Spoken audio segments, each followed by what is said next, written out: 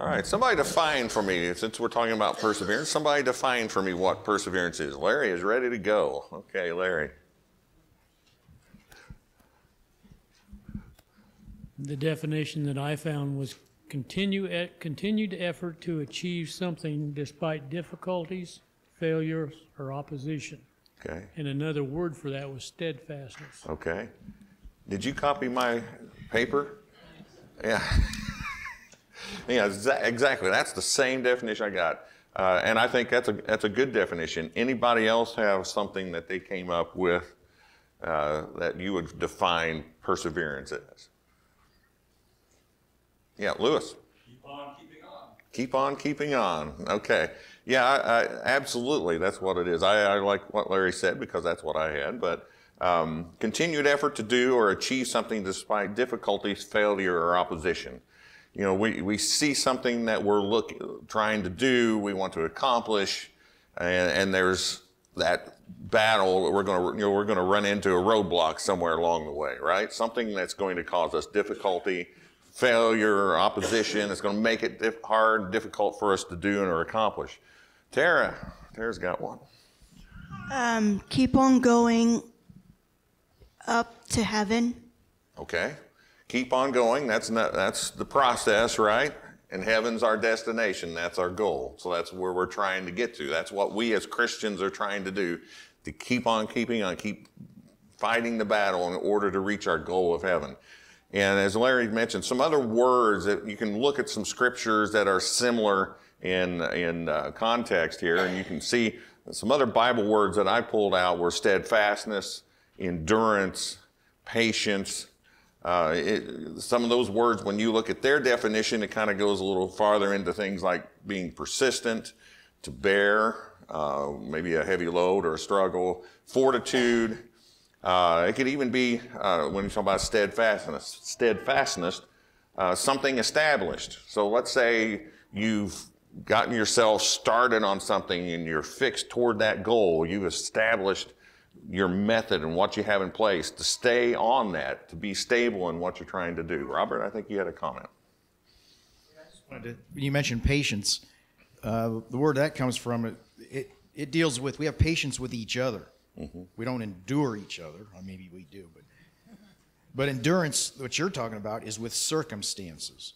Now, it could be from people, but just very trying circumstances in life that we have to endure. That pa- we have to be patient with each other. There's a little difference. Yeah, I mean, uh, part of, the, of an opposition sometimes to what we want to accomplish can be other people. Uh, so we have to be patient, patient with one another, patient with the process. Um, you know, trying to get to the to the goal. Um, give me an example of something that you have experienced that has required perseverance. Um, you know, what steps did you take to persevere through that to accomplish your goal or something? We all have things, so give me an example. Joe's got one. Paramedic school. What, what was something uh, about that that you had to persevere toward? studying, skills tests. Yeah. Yeah. Took two years. Yeah, anybody, any of us that's been in school or, or college or whatever, trying to accomplish something like becoming a, a paramedic or anything like that, it takes perseverance to sometimes force ourselves to stay on track, right? To, to study. You know, sometimes, you know, studying is not our favorite thing to do, you know, and we have to stay on track to do that. Anybody else has something that, that they would like to share? You know, okay. Caleb. anytime you start a new job, I was like, you don't know anything, so you're going to have to learn the ropes per se. Um, nobody's going to be great at everything when they first start out. So Absolutely. It takes time to, to start a job. I, I'll give you my own personal experience related to what Caleb was saying. We, we started our uh, new operation down in Fishers in, in uh, beginning of 2015, and that was a challenge. The, a new plant startup is not easy to do. You're bringing in new processes, new equipment, new people, everything involved with that. You're, you're spending months maybe years ahead, trying to prep for this and plan for this, whatever kind of equipment that you want to buy, how you want to set the process up, how you expect it to go. And you go through this whole thing, and as Caitlin mentioned, it's new. Uh, you picture in your mind what you think will happen and how it will, how it will run, but then you find there are problems along the way. Things don't go as planned. Something you expected or uh, to happen or what you envisioned happening doesn't happen the way you envision it. Then you have to find ways to get around it. You spend a lot of hours, a lot of energy trying to get it to a certain point. You have to stay on track. You can't just walk away from that. You have to keep pushing, keep uh, trying to reach the goal and get to where you want. Uh, you may, then you have people who might come in and look at it and say, and question things. Why did you do what you did? It doesn't make sense, or I don't understand why you made that choice to do this. So you're going to get those type of things as well. You have to keep pushing through that, and eventually we we we got to where we wanted to be. Um, but you know, it was the, one of the more challenging times in my career, but yet at the same time one of the more rewarding times when you can get through that, and we can look at that in life uh, when we do go things that we have to persevere through. Um, when we come go back and look at it, a lot of times we'll say, "Hey, I really feel, you know, proud of that," and uh, you, it's rewarding. And and just like trying to serve God, you know, we can go through difficulties, but we know that the reward is good, and we stay toward that goal. Um, okay, Robert. Each one of us has our internal definition of that. Thank you. Um, what might be hard for me or difficult for me to persevere through might be simple for you, or you know the same with any one of us. When we look at biblical definitions and, and look at examples of that in, in the Bible, when Jesus says, "Pick up your cross and follow me," we know that that's a death sentence. We know that you know you die when you get on the cross. When we see the example of Jesus bearing the cross, he was already near death when he tried to carry it. So it's much more for him to persevere than for us. And each time we overcome one of these obstacles, the next one will be maybe a little more difficult, but we'll still have to persevere to get through that. Mm-hmm. And that kind of goes back to, to Robert's comment too about being patient with one another. You know, when we try, one of the things we'll talk about is trying how we, what are things that can help us persevere, and we'll talk about that. One of a, one of those things is each other. You know, we can we can help each other or we can hinder each other, but we need to be patient through that process and, and help one another. That's one of the big things. So yeah, we all, you know, we have to be understanding of that with one another. That what may be easy for you to persevere through may be a difficulty for somebody else. Um, so I want to go to our next question here. So let's let's look at that. What are some reasons that can cause us uh, to have a lack of perseverance? You know, and especially if we want to look at it in a spiritual sense. What are things that make us struggle to persevere and to endure and to be strong? Carrie?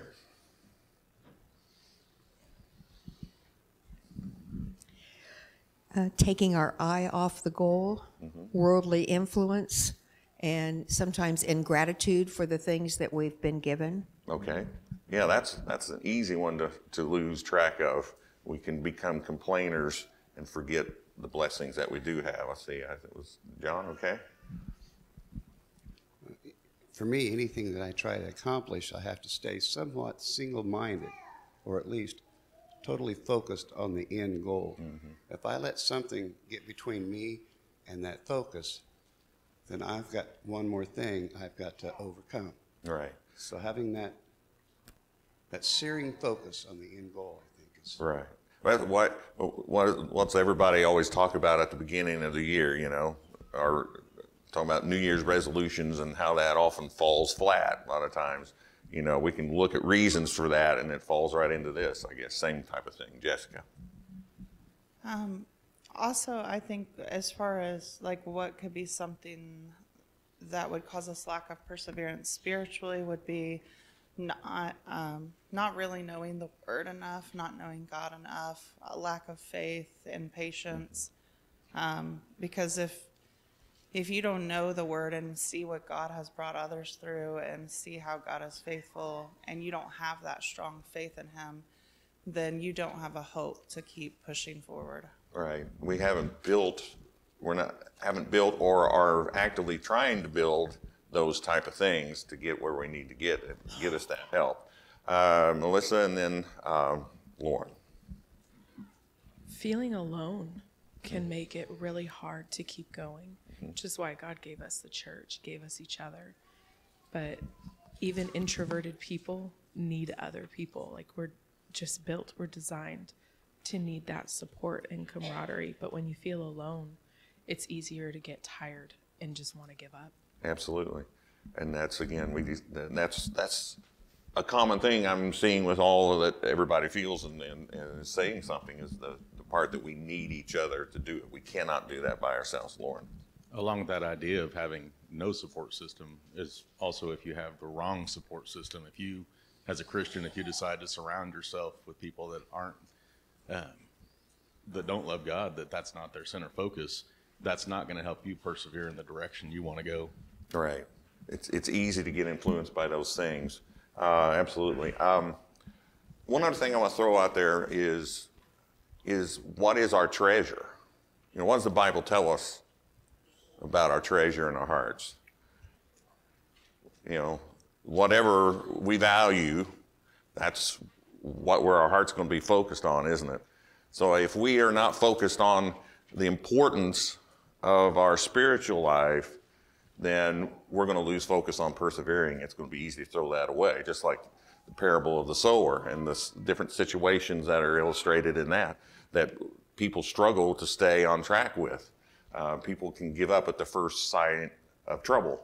Um, and so, yeah, we, we need to have faith. We need to have that as our treasure, our importance, and the goal that we're trying to reach. You know, not everybody has the same amount of fortitude. You know, we look at the character of all of us. We're all different in character. Some of us can be really strong when it comes to fortitude and trying to accomplish something. Some of us can be easily swayed, easily lose that focus and give up. So that's again about comes back to where we need to recognize that of each other and figure out how to help one another and build one another up. That's the purpose of this church family that we have. Lewis.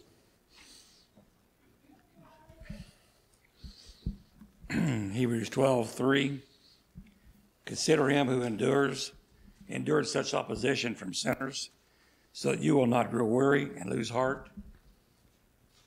God disciplines his children. Mhm. It's telling us that perseverance is going to be part of your life. And God uses it as a, as a source of uh, discipline. And so we need to not take it for granted Mm-hmm. and keep on overcoming it and staying steadfast, as was said earlier about the goal we have, because it's a source of discipline. Yeah.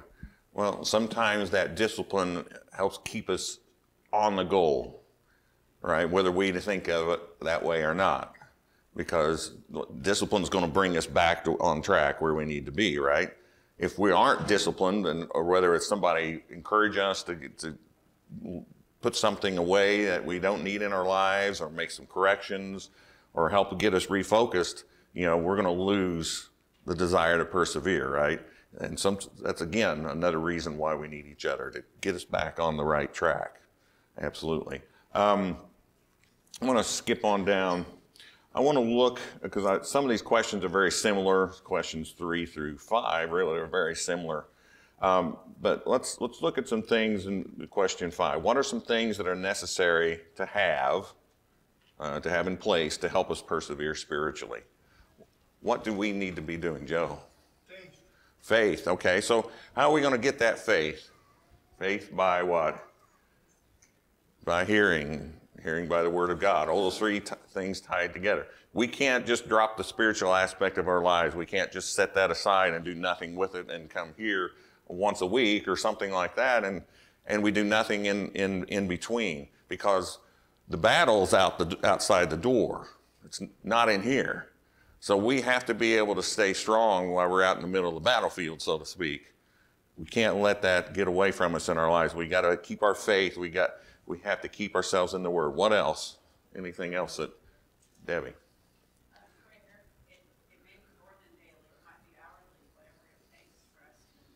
Yeah, we got to keep our conversation going with God, right? In a way. Absolutely. Any- Anything else? Okay, I, we gotta we, we need to also make sure that we keep focused on the right source for our strength. You know, there's so many options that are thrown our way out there trying to tell us how to, to live our lives. But as Christians, we have to stay focused on the true source, and that being God, that being His Word, that being our, uh, our Savior, Jesus Christ. We got to follow His Word and His example. And we have to know what He's asking us to do. Robert, and then Kyle. In Romans 12, it tells us to be not conformed to this world, but be transformed by the renewing of your mind. And then Paul gives us a long laundry list of things we can do as a Christian. That as we do them, we do them with a sense of putting God first in our lives, with a sense of excellence, do it with all of our power. This is an exercise in faith, in complementary to what uh, James says about show me your faith without your actions, I'll show you my faith by my actions. That doing the will of God will increase your faith, Yeah. living it. Yeah, it's be not, you know, not nearly just saying and, and expressing our belief, but showing it by our actions and by our things that we do. Kyle? Well, Robert alluded to it in his last statement that not only do we have to have faith, but we have to have action in our. We have to be able. We have to believe and obey what God and, and our Savior tell us to do, and because it says in uh, in Hebrews three not uh, 19 or 18 and 19, it says, And to whom did he swear that they would not enter his rest, but those who were disobedient? So we see that we are unable to enter because of our unbelief. So there's two different words there that are close to having the same meaning, but we got to we got to be obedient to his word and to believe his truth of what he says. Yeah, we have to put it into practice in our lives. We have to be actively doing that to build up our strength, don't we? Um, I want to look at question six. So it says in verses one through six, who was a source of strength to the Jews? Let's go to, we're going to go to the scriptures now. Who was a source of strength to the Jews, and who does the Hebrew writer suggest is a better source? So let's, uh, if somebody would volunteer to read the first six verses of chapter three, and we'll uh, analyze that section real quick. Who would like to read that? Brock, do you have it? Since you have the mic? Okay, go ahead.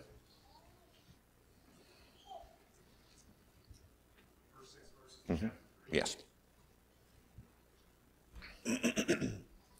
Therefore, holy brothers, you who share in a heavenly calling, consider Jesus, the apostle and high priest of our confession, who is faithful to him who appointed him, just as Moses also was faithful in all God's house.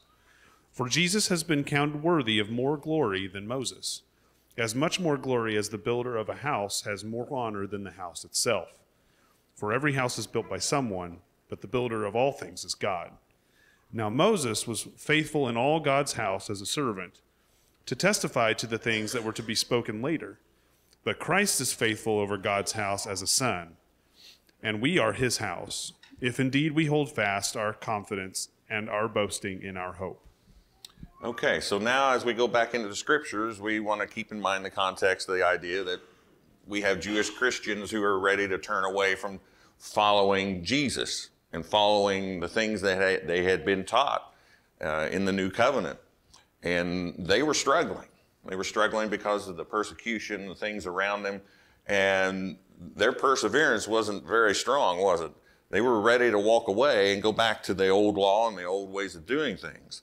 And the Hebrew writer is trying to get them to, to really see. Uh, we've been talking about the idea that they may have focused on angels and the prophets and the things that they were they were going back and locking on to what was said then and somehow giving up on what they had been taught now uh, the, the new way of doing things i guess you could say.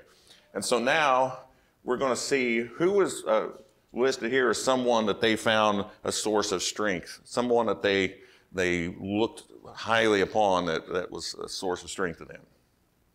Moses. We see moses as one who they, they often go to, uh, on all that, that he led and happened there. And then the writer is saying, no, but what something is much better there. And he says, and obviously we know he's talking about Jesus. There's many ways that he's going to list here as reasons why Jesus is better and superior as our source. Uh, what are some of those things that you came up with here? Carrie.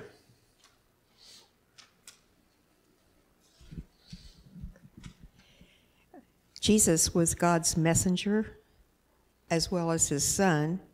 He was sent from God as our deliverer, mm-hmm. and he's our high priest. He is our high priest. It does say here, you know, Jesus, the apostle, the high priest of our confession, says he was faithful to him who appointed him.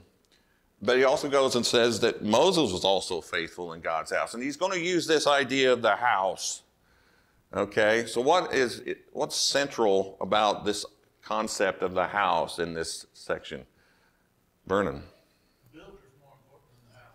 That's right. Because the house just didn't appear out of nowhere, right? There was a, there was a purpose behind it. Uh, there was a design. Somebody over here didn't have a comment I'm missing? Uh, okay. Yeah, there was a purpose or a design to it. And, you know, the, the person who lives in the house has got to be thankful for the builder that, who put it together, right?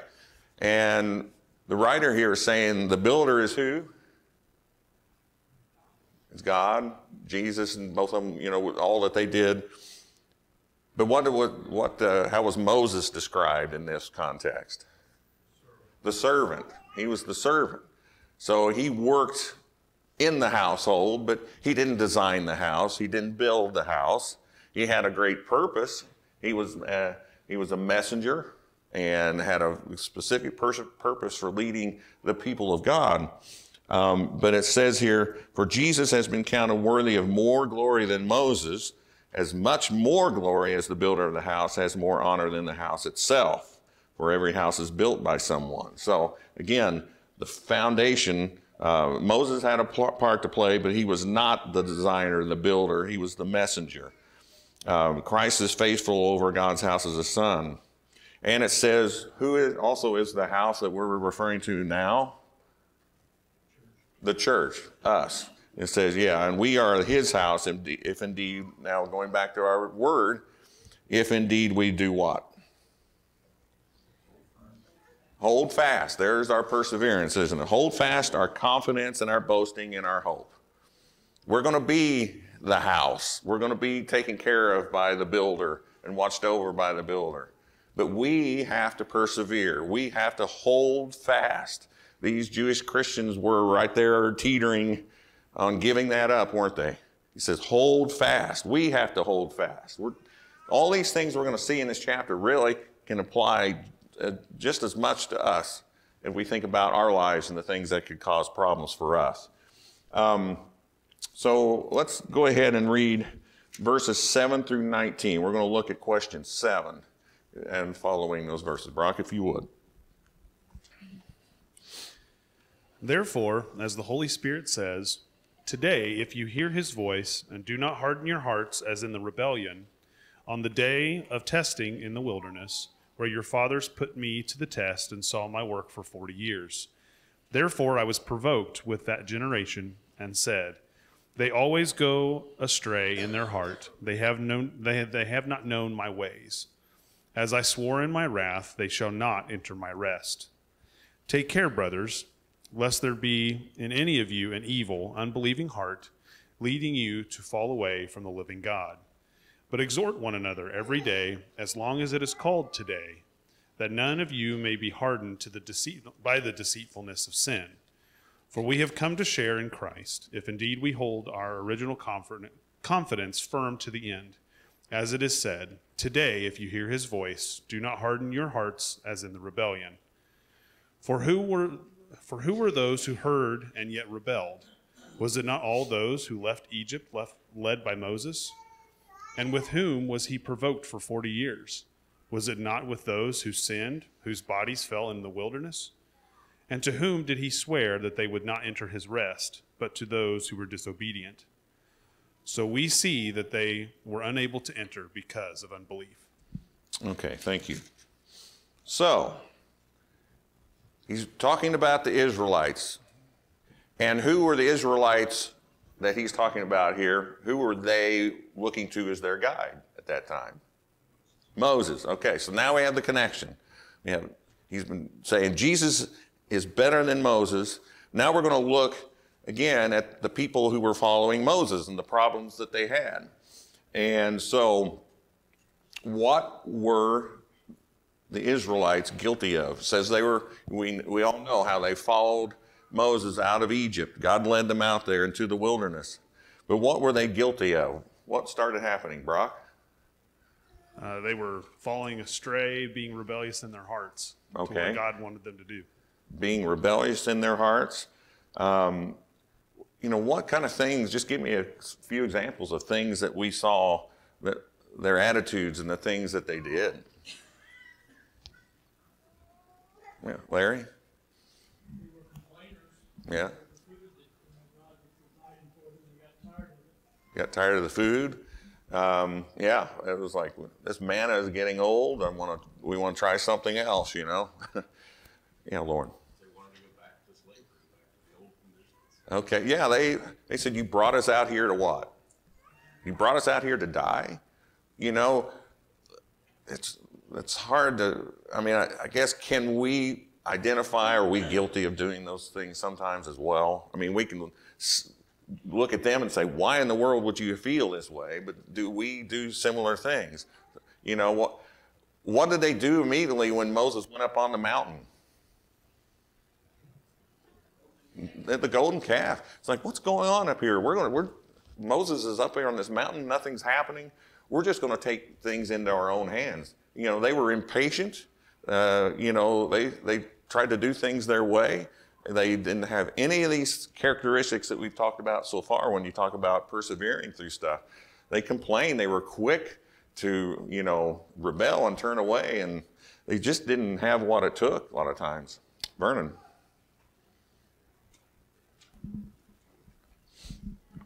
I think we see both today in people around us. I- We see people that go through terrible trials and they never turn on God. They never seem to question God. And then we see people that every little thing that happens in their life, why is God doing this to me? Uh, This whole chapter to me seems to be a warning not to be like those Israelites. Don't, whatever it is, don't blame God for it. The bad things don't come from Him. That's right.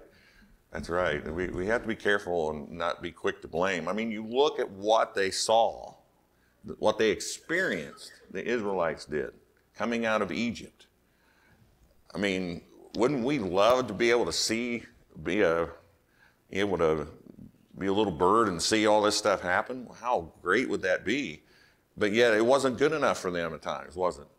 They complained. They just they they didn't, as mentioned earlier, were they not really thankful for what they had been given, and it was easy for them just to think about what they wanted or didn't have, and they, they complained. Yes, Robert. Yeah, you talk about all the things they saw. The 10 plagues were 10 plagues to Egypt, but they're 10 signs of wonder to the children of Israel. Each time these happened should have been a faith builder. They saw the parting of the Red Sea, all these things, and they still complained. And they weren't grateful, was the big part of it. When you're not grateful, you do tend to complain. But they had a pillar of fire at night and a pillar of cloud by day constantly with them when they're in the wilderness. How could you forget all these miracles when you have this following? When you look out your tent at night, all you can see is this big pillar of fire. Mm-hmm. You didn't have to have a night light. The whole land was lit up by that fire. Yep. And, and yet they still complained. Yeah, absolutely. And because of that unbelief, you know, they, they it says they hardened their hearts, they were rebelling. We saw that they, as we just said, ignored God's mighty works. They went astray in their hearts, and it says they had an evil heart of unbelief. Um, you know, we have to be, we can fall into the same thing. We have to be careful of that now. Uh, I just look at the way they responded in their situation in the wilderness, and we're just like them in a lot of ways. We have to be willing to admit to that to ourselves. At times, we can be the same way. When we don't cling on to our faith, when we try to do things our way, we don't like things the way they come along, we're not patient. God had a plan for them, and they just had to be patient. He was leading them to the promised land. He was taking them to a good place. But yet they were impatient. They wanted to do things their way and they hardened their hearts to what God had done. They didn't keep their faith strong. Um, you know, I, one thing I was thinking of when we look at our lives, it's like where we are living our lives now, aren't we in the wilderness in a, in a way? We're in the wilderness like they were. They were, we're trying to get to the end, and the wilderness is in the in between, right? I think why would we go through all the struggles of this life? Because, as Kyle said, and looking a little farther in this uh, chapter, what were they denied because of their unbelief, their, their lack of faith, their lack of perseverance? What were they denied? What's that? The land, the promised land. And it's also talking about they were also not able to enter into their, as Kyle said, their what? Their rest. Okay. So, you know, God had an end for them. They were able to go where God had promised, given what God had promised to give them. He had it all planned out, but they just didn't take hold of it. They didn't embrace it. And so they were not able to enter the promised land. They were not able to give them their rest. And as we go farther into, into Hebrews, we're going to see how the Hebrew writer talks about the rest for us as Christians being better. We're going to explore that as well. But I, I think we have something that God has promised us. Why would we go through all the struggles of life, go through the things in wilderness, so to speak, just to enter an eternal an eternity full of weeping and gnashing of teeth? Why would we want to do that? Rock, got a comment? It's interesting you asked that because I was just I was just trying to think of how I was going to word a comment that I wanted to make, but I think and we see it evident with the children of Israel. It's so much of our, so much of our mindset, so much of our um, character is living in the here and now, and it's I want this now. I don't want to take the time to wait for it. I don't want to, you know, I want to be good at whatever I'm going to do immediately. I don't want to. I don't want to look at how much practice and how much uh, effort I have to put into it, and the that mindset of living in the here now causes us to forget the end goal. And so, you know, with the children of Israel, they had all these signs and wonders and stuff around them. But the fact that they were hungry and they did, weren't getting what they wanted to eat right then and there caused them to forget all of that around them. And even to the point of even to the point of maybe saying that the situation that they were in that was absolutely horrible in their minds seemed better than what they were just because of one thing. Mm-hmm. And that's what we that's what we forget. We we struggle to persevere because we live in the here and now. Right. And we don't we can't see that end goal. And that's what the problem is. Right. And because of that, we lose sight of the fact that there is something better awaiting us. I I mean I'm guilty of just this very same thing myself. But you think that if we think, and I'm not saying that we don't have struggles in our lives, we do. And they're hard and they're difficult and they're painful. But we have been given that promise of eternal rest being with God through eternity. And we don't persevere sometimes the way we ought to. Or let's say we don't ever want to become a child of God. I, I look some things, I'm skipping ahead a little bit, but in, read 1 Corinthians 15. We won't have time to read all that in class, but read 1 Corinthians 15. If you, when you finish looking at that chapter, then you would come out and say, God has put everything in place for us. All the evidence that He has laid out, the scriptures that He talks about. Um, you know, we, got, we have to avoid some things here. Uh, question nine, you know, one or three ideas presented to help us persevere spiritually, and what is likely to happen to us if we fail to persevere? Do you have three things, anybody, that you got out of that passage? Carrie.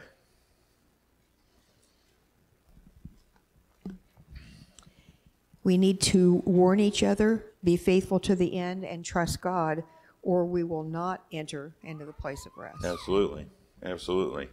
You know, to exhort one another, uh, just like you said, to hold our original confidence firm to the end, to persevere.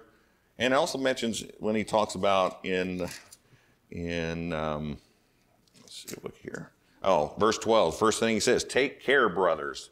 So that means we have to be watchful. It's going to be a process. We have to be very, very cognizant of what we're trying to do. Uh, it, it's something that we can't just set to the side. Take care, brothers. Yes, Lewis. Last verse there, he said,